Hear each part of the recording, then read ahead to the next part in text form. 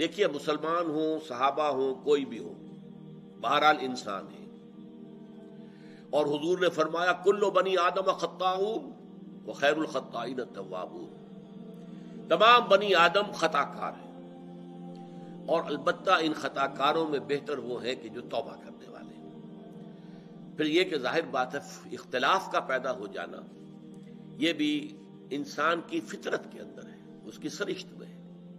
एक राय मेरी है, एक राय आपकी है, आप अपनी राय पर जासिम है, मैं अपनी राय पर जासिम हूँ। अच्छा एक मामला इख्तलाफ राय की हद तक रह गया। चलिए, इससे आगे कोई इकदाम नहीं हुआ।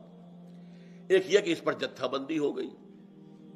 जत्थाबंदी जो है, एक दर्जे में हाथापाई पे आ गए, या बाकायदा जंग हो गई।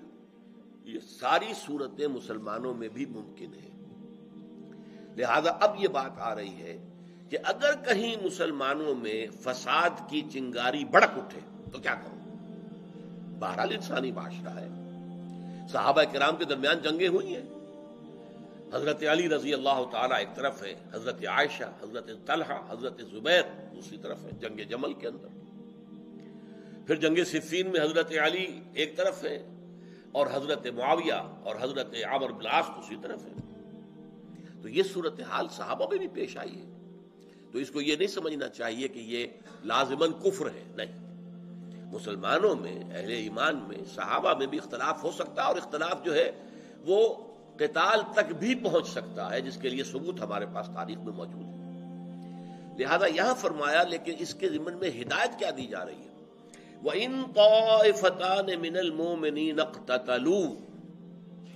अगर दो ग्रोह अहले ईमान में से बाहम लड़ ही पड़े यानी वो इख्तलाफ इख्तलाफ, जत्थाबंदी जत्थाबंदी जो है, उसके बाद आगे जबानी, कलामी से आगे बढ़कर बाकायदा जंग की नौबत बन जाए। इस इंतहा तक भी पहुँच जाए मामला। और ये पहुँच सकता है। इससे साबित हुआ कि उनके ईमान में कोई नफी नहीं हुई। इसलिए कि इन तौफतान मिनल मोमिन है वो दोनों मोमिन।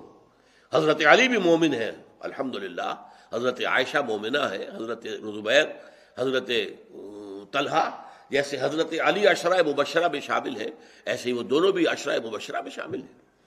तो इसको ये नहीं समझना चाहिए कि वो काफिर हो गया, उनमें से कोई एक ग्रोह मासल्ला नहीं। इख्तलाफ था, इख्तलाफ शिदत इख्तियार कर गया। और ख़ास तौर पर चूँकि हवा देने वाला एक सबाई अंसर मौजूद था अब्दुल्ला इबन सबा यहूदी, उसकी साजिश मौजूद थी, उसकी वजह से वो आग जो है भड़का रहे थे। इन तौफतान अब ये पहली दफ़ा है इस कानून की तो उनके दरमियान सुलह कराओ। इन डिफरेंस जायज़ नहीं है। अच्छा जी, अपना मामला खुद तय करें, अब हम नहीं इसमें मामले में पढ़ते। ये होता है एक इंसान के लिए, जो है आफियत का गोशा ये है। अब मैं इसका साथ दूँगा तो दूसरा नाराज़ होगा। दूसरा का साथ दूँगा तो ये नाराज़ हो जाएगा। तो मैं तो इस चक्कर में पड़ता ही नहीं। नहीं। ये जायज़ नहीं, ये रवा नहीं। ये इनडिफरेंस जायज़ नहीं। इसलिए कि ये भड़क कर आग अगर और बढ़ती है तो नुकसान किसे पहुँच रहा है? मिल्लत की वहादत खत्म हो रही है ना? मिल्लत की वहादत जो है तकसीम हो रही है तफरके के अंदर। तो जो खैर की ताकत थी कुन तुम खैर उम्मत उखरजत लिन्नास, तुम तो लोगों के लिए निकाले गए हो ताकि लोगों की इसलाह करो। तो वो खैर की ताकत मुंतशिर हो जाएगी, कमज़ोर हो जाएगी ज़यीफ हो जाएगी। तो देखिए कि कहाँ से कहाँ तक पहुँचता है उसका नतीजा। लिहाजा जिसको कहते हैं अंग्रेज़ी में निप दी इवल इन दी बड जहाँ कहीं ऐसा मामला हो, फ़ौरन सुलह कराओ। ये सुलह कराना तुम्हारा फ़र्ज़ है। ला ताल्लुकी जो है, और गैर जानबदारी जायज़ नहीं है। देखो कौन हक पर है और कौन गलत काम कर रहा है। जो हक पर है, उसके आगे आ रहा है। फिर उसका साथ दो। तो पहली बात यह है कि ये जो हमारा आम आफियत को शाना एक तर्ज अमल होता है, कि साहब ठीक है, अपना झगड़ा ये खुद निपटाएँ।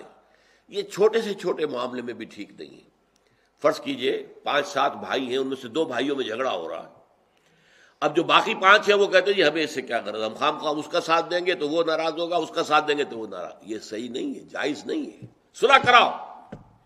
देखो, हक की क्या बात है? फासले हो बैनरुमा सुलह कराओ उनके माबे